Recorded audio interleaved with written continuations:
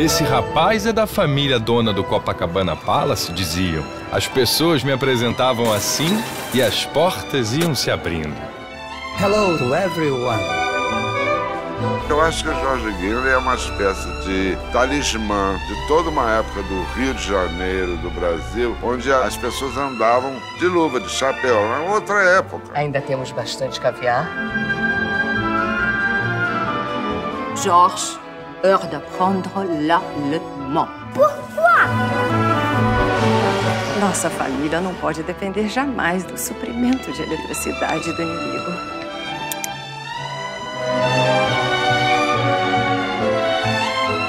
Papai nunca pensava em mulher, a não ser quando estava respirando. Se ela não topar, mandei trazer champanhe de volta. A bandeja de prata.